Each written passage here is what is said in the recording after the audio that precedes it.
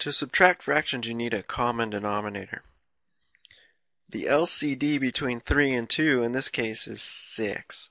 So we want to find equivalent fractions where the denominator is 6.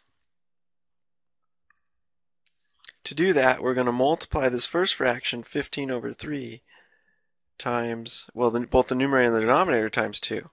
That gives you the equivalent fraction, 30 sixths. 15 over 3 is the same thing as 30 over 6. Now doing the same thing with 7 halves, I'm going to multiply top and bottom here by 3 to get the equivalent fraction, 21 sixths. 21 sixths, same thing as 7 halves. With the equivalent fraction, see now you can subtract across the top, put it over your one common denominator. Okay, so 30 minus 21 is 9. Okay, 9 sixths.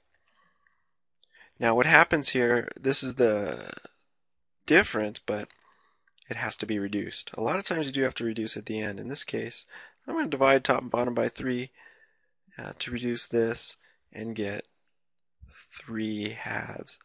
Okay, that's better known as 1 and 1 half.